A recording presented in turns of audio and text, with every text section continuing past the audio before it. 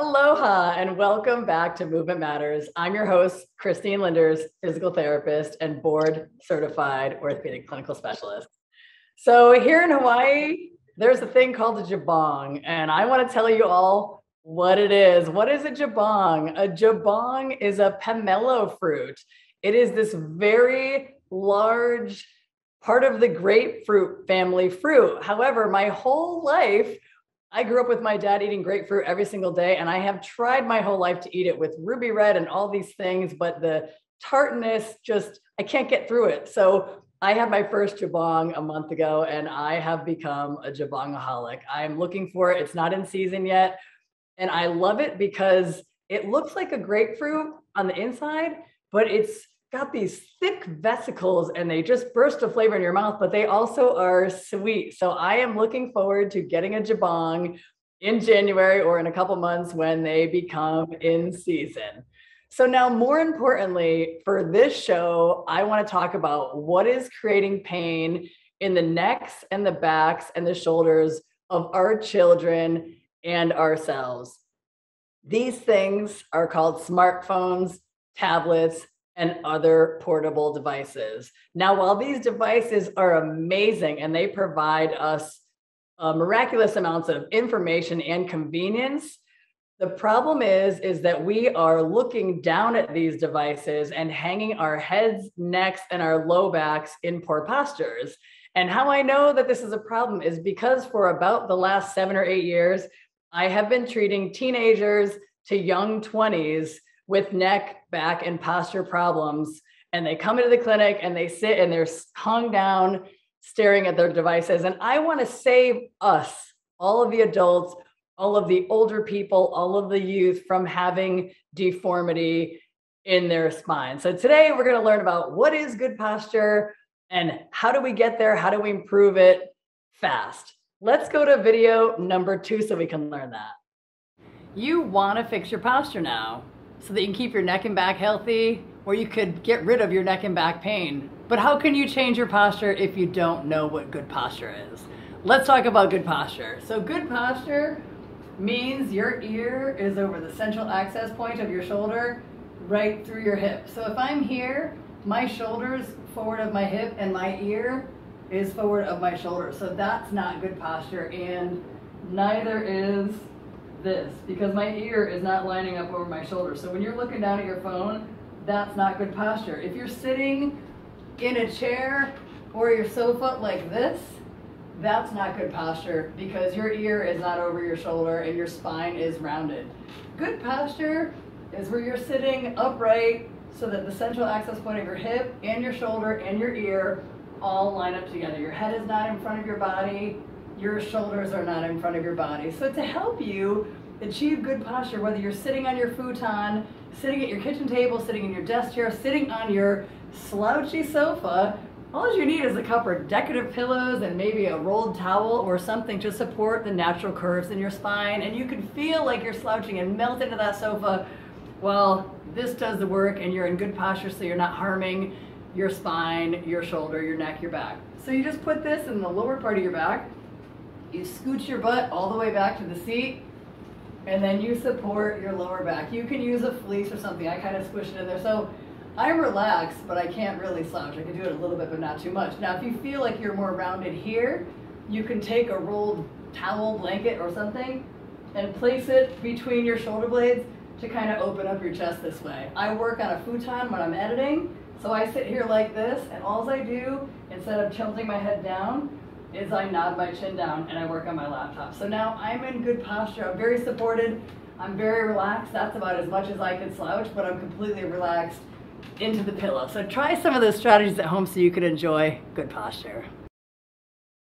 That is a very quick way to help support your spine and set you up for success to get you into better posture. So when you're looking down at your device, looking down at your crossword puzzle, looking down at your laptop or hunching forward, I call it the follow your nose principle. Your nose, if it's held up, your posture is up. If your nose goes down, your head, your neck, and your spine go down. And now, why I am so passionate about children is because I want children to grow up and develop their movement patterns to be good because ever since we're young and we're crawling and we're learning, our body is developing movement patterns and our muscles are developing movement patterns and our brain is adopting movement patterns. And so when you are in a movement pattern that is hung forward from two, three, five, six, seven years old, then you go to school and you're hung forward and you are in that hunched forward movement pattern. The muscles on your front of your body are in a shorter position. And we like to say they're like short and strong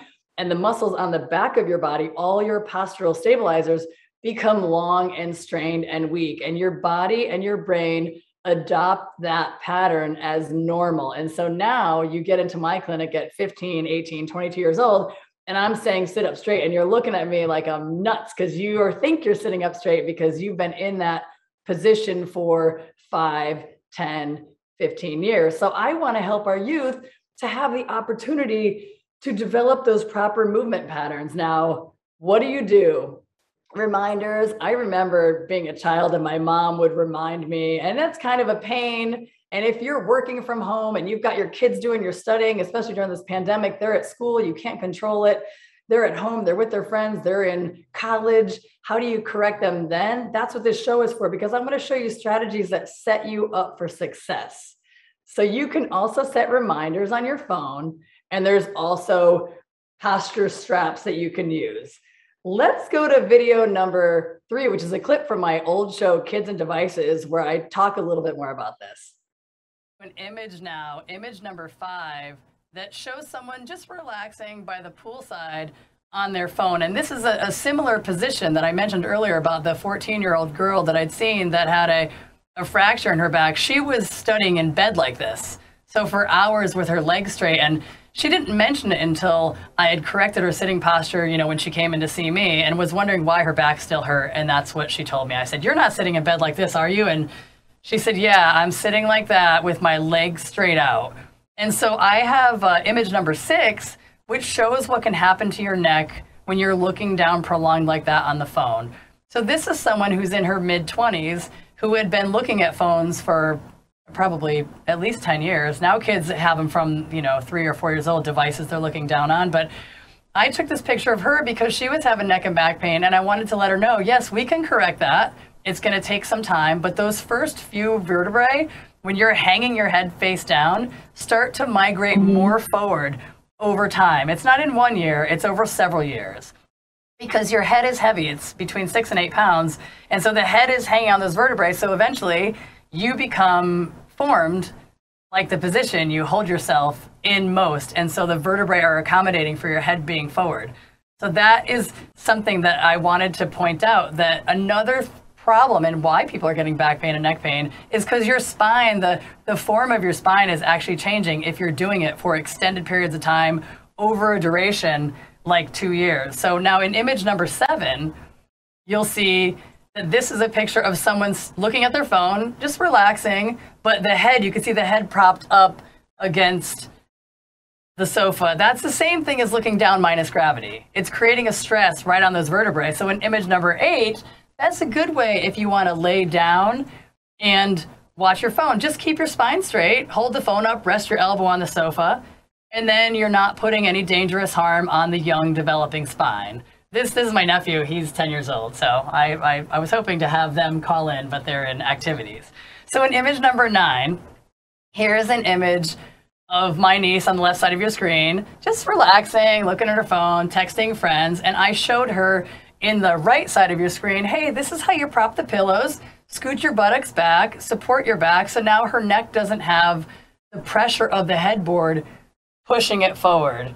So Tajma Let's go to image number four, where we can look a little bit more. This is a great image from the Ministry of Health and Welfare and the Korean Academy of Medical Sciences. And that does show what happens. Form follows function is a term that I've heard in physical therapy for the last 24, 25 years.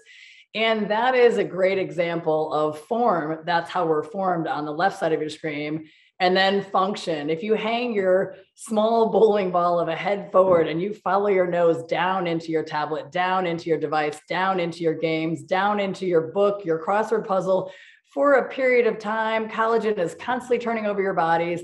The muscles are learning information about the positions you hold your body in first. And then you end up looking like some version of the picture on your right. And I am in the business of getting people out of pain. And so the reason why I want to do these shows is I want you to have some examples of how you could be harming your body without knowing it. And I want to give you strategies on how you can help your body to develop better movement patterns.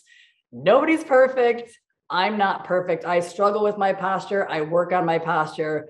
I work forward for my business. And so I'm always doing some of the exercises that I will show you soon. So I have a question, and it is how do I get my kids to sit up straight while they're looking at devices? Now, that's not an easy question to answer, but I think the key is to get them up and moving periods of time. I was interviewing my mom a couple days ago and asking her, Mom, what did you do for us? And she goes, Well, you would play Atari and you would sit hunched cross legged on the TV, but we were looking up at the TV. So it kind of corrected itself. And she said, most of the time you were outside, like running around, riding bikes and doing whatever. And her her thing as a grandmother was kids are just inside too much now. Uh, they're inside too much because there's too much to do inside. You know there's cool devices and games and videos and things that i didn't have growing up and my mom didn't even have those games. Tv was the big thing that came out when i was a youngster and then it was wow look what i can look at. So I think reminders, getting kids up and moving, engaging them in something, um, cleaning your room, go outside and run around for 20 minutes, help me do this, anything that you can do to get them off devices, set timers. We had one hour of cartoon time that we could watch on, I think it was Sunday mornings, and my brother and I turned it into two because we all deserved one hour each. So those are just a couple quick tips. You can do anything like that, but I think the key is to set a timer to get them off the devices and get them moving around as soon as they can when they're children and, and, games and movement games are a great way to do that when you're a child then it's fun too so let's go to video five where we learn how to undo a forward posture Nobody's perfect, not even me. We slouch sometimes. We catch ourselves slouching while we're in the middle of a, in the middle of a project or while we're at work what do you do to correct that so you don't get injured and you don't suffer pain? You need to undo that activity. So whatever that activity is, if you are a sous chef or you're at home cooking dinner for your family and you're bending forward cooking, if you are sitting at your desk job and you have to look forward at documents and then up down at the keyboard, if you're a physical therapist and you're working on a patient, you're in suboptimal postures throughout your day and you need to do things to undo that so that over time compounding day after day, you don't get postural deformity where your neck becomes fixed forward or you get that hump at the back of your neck from your neck forming a different way because you're looking down all the time. You need to undo that. There's a some, couple simple things you can do. One of them is my favorite, whether you are 20 years old or 90 years old, this works. You will clasp your hands behind your head and neck like this, if you're already really forward, then I tell people push your head into your hands and then press your elbows back. Press your elbows back. Don't let your pull yourself forward.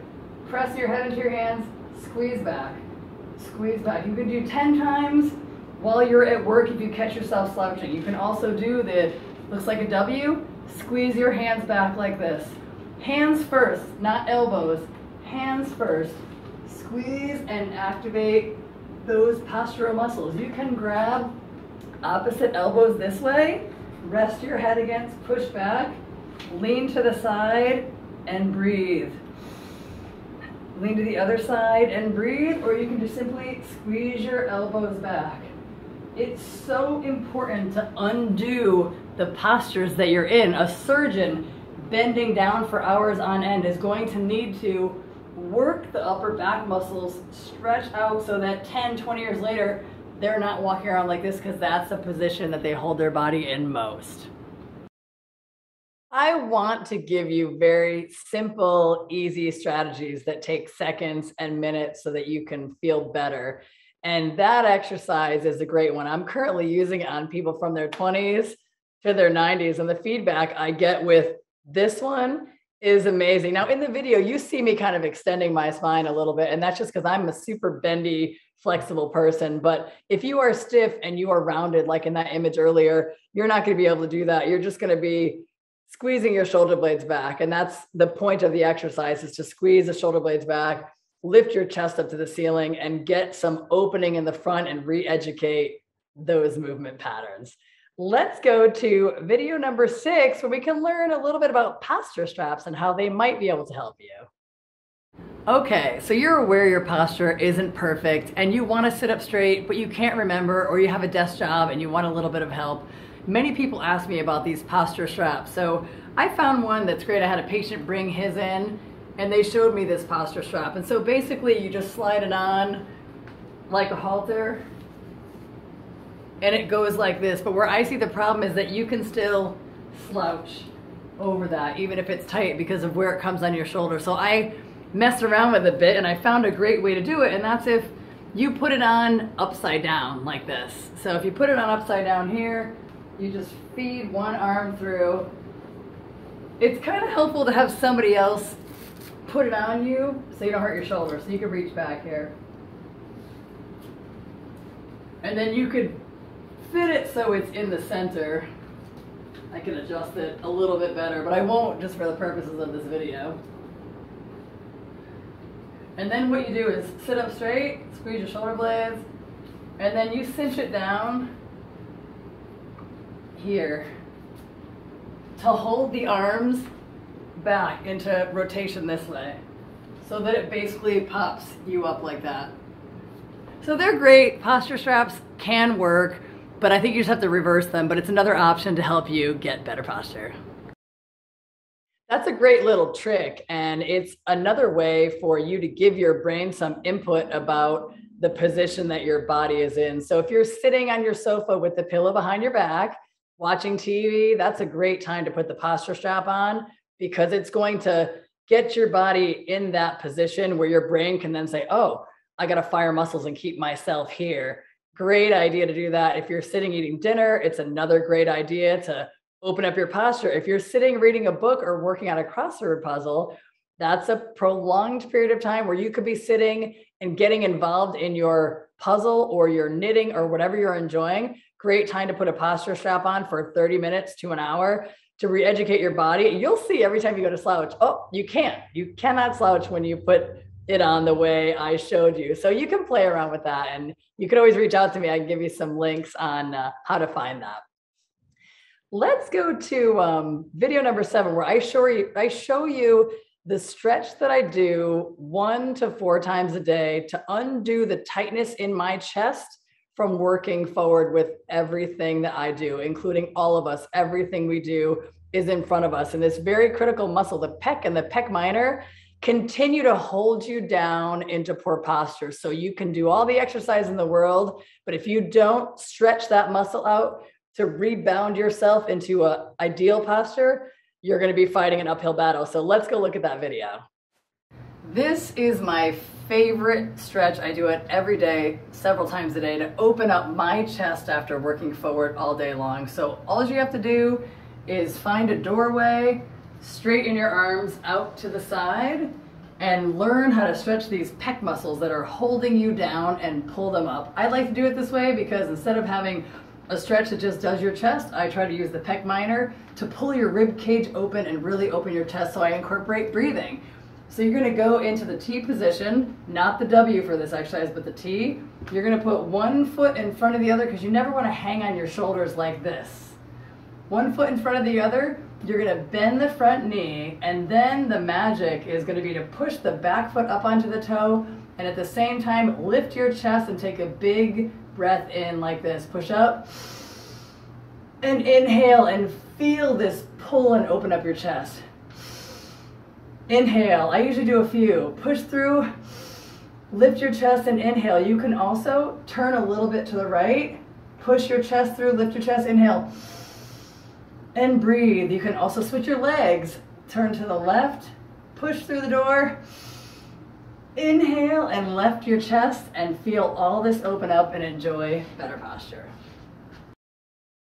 I want you to try that stretch. If you are watching right now, I want you to stand up. I want you to go in a doorway, spread your arms wide like you're in the shape of the letter T, put one foot in front of the other like you're in a lunge position, bend the front leg, and then push up onto your back toe and inhale.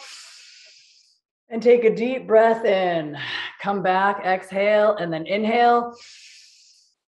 Take a deep breath in. You should not have any pain. So if you do, check your position. Make sure you're putting your weight on the front leg. A lot of people like to keep their feet next to each other and then put their arms wide and lean into the door, but that's too much weight to put on your chest muscles and your shoulder joints. So I want you to try that. Every time I do it in the clinic, everybody always says the same thing. You feel it so tight, it's hard to get that last bit of air in there, but they always say, Oh, wow, I feel so much more open. Let's go to the final video today, which is a clip from a previous show. Your posture is causing your pain to learn some band exercise that you can do now that you've stretched out to strengthen your postural muscles. My top, get rid of your shoulder pain, get rid of your neck pain, get rid of the tightness that you felt sitting at your desk stretches. Number one, you are going to rotate your hands out to the side, keeping your elbows in like this and squeezing your shoulder blades. Number two, arms at shoulder height. Pull back, squeezing the shoulder blades until the band hits your chest. Number three, I call X's. You form the angle of one X, pull back, squeezing those shoulder blades, keep your chin down and your neck long. Switch the other X, and squeeze. I like to do 10 of each. And then the last one, arms up over your head, pull down and lift your chest. Come back up, pull down and lift your chest. Neck long, everything feels good. Enjoy feeling better, everybody. My favorites as well. And I feel like the ones that I've showed you today are some of the simplest exercises that you can do to help improve your posture quickly.